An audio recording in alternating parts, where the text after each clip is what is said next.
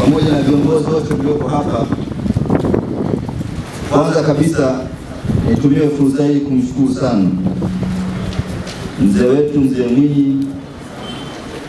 Najua na mambo mengi na maeneo mengi waliona ni busara na ni vizuri kuwa naye, sababu kuwa na wazee kama hawa ni baraka, lakini bado wakaona atenge muda na nafasi yake kwa ajili ya kuja kujumuika nasi kwenye mkoa wa Arusha ambao tumependelewa kwa maadhimisho haya ya wazee kitaifa kwa mwaka huu kufanyika kwenye mkoa wetu. Mzee Mwinyi, tunakushukuru sana kwa muda wako.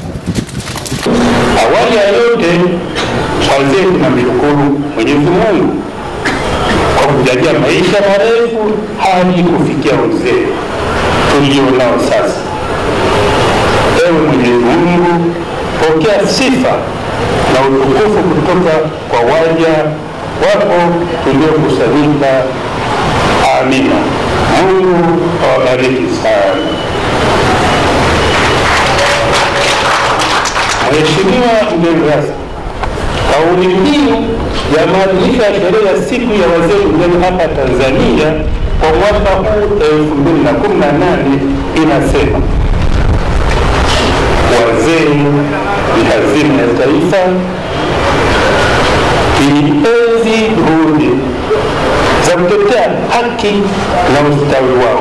Serikali ya awamu hii ya tano iharakishe mchakato wa kutungiwa sheria ili iweze kutekelezwa. La pili, Mheshimiwa mgeni rasmi, pamoja na kwamba serikali imeshatoa msamaha ya matibabu kwa wazee, bado wazee wengi kila unapoenda kujigua katika hospitali za serikali na umma, mara nyingi madawa ya magonjwa ambayo wasumbua zaidi wazee hayapatikani. Sisi wazee bado tumeendelea kuuliwa kwa ukatili kwa kisingizio cha imani za kishirikina. Tunaiomba serikali izidishe jitihada ya kuyamaliza mauaji haya. Mheshimiwa mgeni rasmi, wazee wanaonufaika na mpango wa serikali wa pensheni ni wale tu waliokuwa kwenye ajira rasmi ambao idadi usawa na asilimia nne tu. Asilimia iliyobakia, yaani tisini na sita ya wazee wote ambao wamelitumikia taifa hili kwa kuleta maendeleo haya tunayoyaona sasa, hawapati pensheni ya aina yoyote. Mheshimiwa mgeni rasmi, tunaomba wazee wote wa Tanzania bara tupatiwe pensheni yetu, jamii kama ilivyo kwa wazee wenzetu wa Zanzibar. Mheshimiwa mgeni rasmi, sisi wazee wa Tanzania licha ya kusikia tuna busara na hazina ya hekima, bado hatuna wawakilishi kwenye vyombo vya kutoa maamuzi kama yalivyo makundi mengine.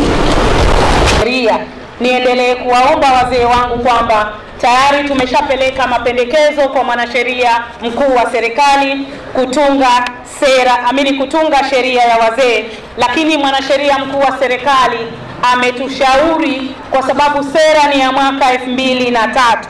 Ametushauri tufanye mapitio ya sera halafu tuone kwamba yale ambayo yako ndani ya sera bado yana mantiki katika muktadha wa Tanzania ya sasa. Katika kutekeleza tamko la sera, serikali imeziagiza halmashauri zote nchini kuwatambua na kuwapatia vitambulisho kwa ajili ya huduma za matibabu bila malipo.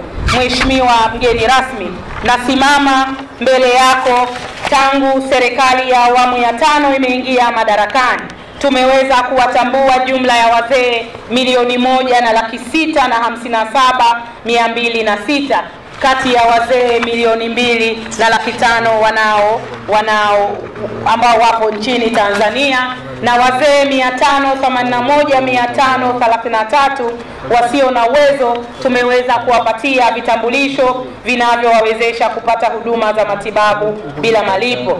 Mheshimiwa mgeni rasmi, nimpongeze sana Mheshimiwa Mrisho Gambo na viongozi wa mkoa wa Arusha. Ni mojawapo ya mikoa ambayo inafanya vizuri katika kuwatambua wazee na kuwapatia vitambulisho vya matibabu bure. Na, na tatizo pia hizi dawa pia zina gharama kubwa, lakini nataka kuahidi wazee wangu tutaangalia jinsi gani dawa hizi ambazo sasa hivi hampati tunaziweka katika orodha ya dawa ambazo tunazifuatilia na kuzitolea taarifa kila siku, hasa dawa za presha, kisukari, magonjwa ya moyo na dawa za maumivu ya misuli. Mheshimiwa mgeni rasmi, limeongelewa suala la kuwawezesha wazee kiuchumi. Kama inavyofahamika, serikali kupitia bunge mwaka 2017 imewasamehe wazee kulipa kodi ya mapango ya majengo katika nyumba wanayotumia kama makazi.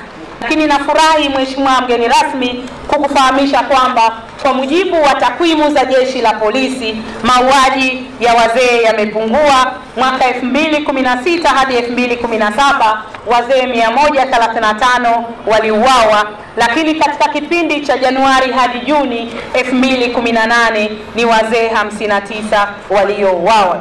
Mheshimiwa mgeni rasmi, tunaendelea kuongeza msukumo na uratibu wa mapambano haya.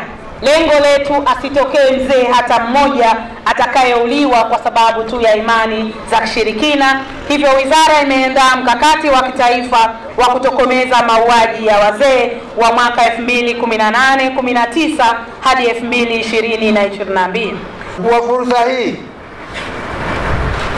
ili kuipongeza serikali inayoongozwa na Mheshimiwa Daktari John Pombe Joseph Magufuli, Rais wa Jamhuri ya Muungano wa Tanzania, kwa kuendelea kuchukua hatua mbalimbali kukabiliana na changamoto kwa kuboresha hali ya maisha ya wazee katika nchi yetu.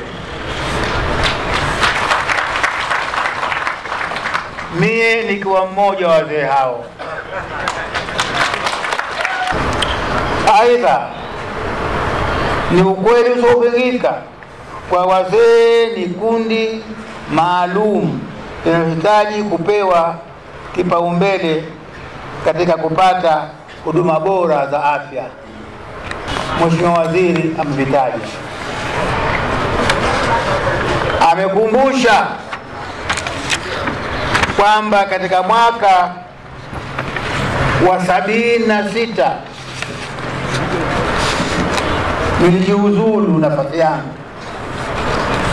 baada ya kushuhudia wazee waliouawa na wakiendelea kuuawa eti kwa sababu macho yao mekundu, na hivyo kwa hivyo wachawi, na kila anayekufa mtaani huwa ni shauri ya wazee ndio walomuua.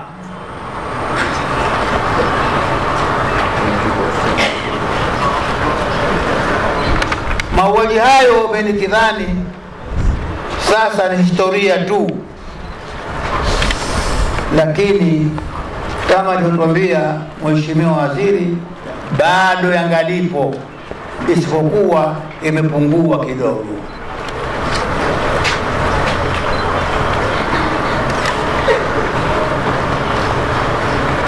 Ndugu wananchi,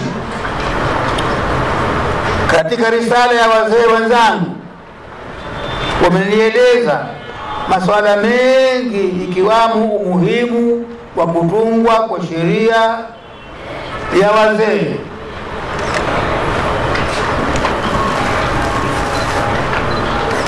Hili nalo sina, haja ya kunijibu kwa kuwa tayari kuna matayarisho yaliyoanza tokea mwaka elfu mbili na tatu kwamba wazee mfanyiwe hayo tunayaomba, isipokuwa kwamba e, mashauri hayo bado hayafikishwa bungeni na kufanyiwa sheria rasmi.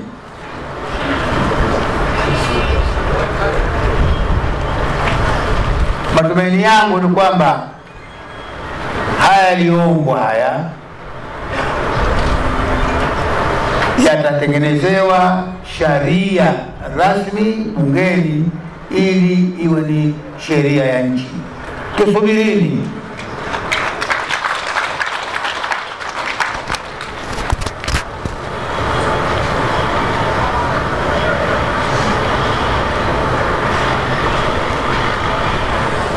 Hili hili jingine.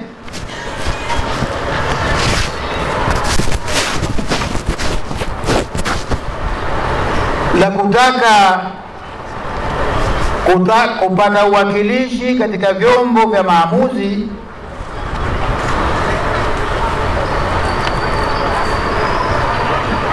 Mimi sitokuwa na haja ya kulirudia rudia, maana waziri kanisikia, na waziri wetu ni mbunge tena waziri. Hili hapana shaka atalishughulikia katika kazi zake za uwaziri, ila namwomba namuomba tu, namuhimiza asichelewe.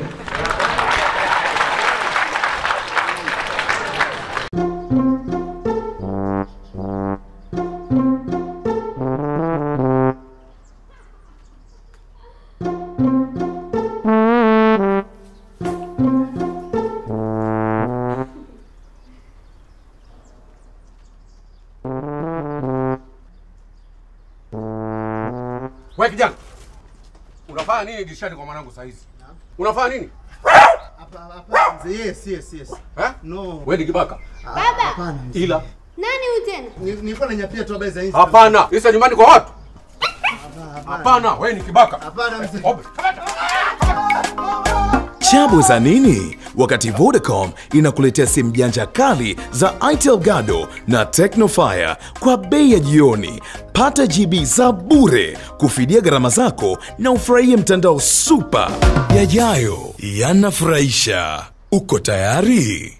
Vodacom. Karibu chuo cha Kilimanjaro Institute of Technology and Management kilichopo Mwenge na Sinza Mapambano jijini Dar es Salaam na chenye usajili wa NACTE nambari reg mkwaju ane mkwaju 029 wameanza kudahili wanafunzi wapya kwa ngazi ya diploma na certificate kwa mwaka wa masomo 2018-2019 katika kozi zifuatazo: IT, Business Administration, Accountancy, Procurement and Supply, Front Office and Hotel Management. Chuo kimebobea katika ufundishaji kwa njia vitendo na kimeweza kutoa wanafunzi wenye weledi. Wengi wameajiriwa ama kujiajiri, na kwa wale ambao wameamua kuendelea na digrii katika vyuo vikuu mbalimbali hapa nchini wamekuwa wakifanya vizuri sana katika masomo yao. Pia chuo kinatoa kozi fupi za kompyuta na umeme. Ada zao ni nafuu na unaruhusiwa kulipa kwa awamu. Kwa maelezo zaidi piga simu nambari 0652835123 au 0766348652. KITM, elimu na ujuzi kwa maendeleo ya viwanda.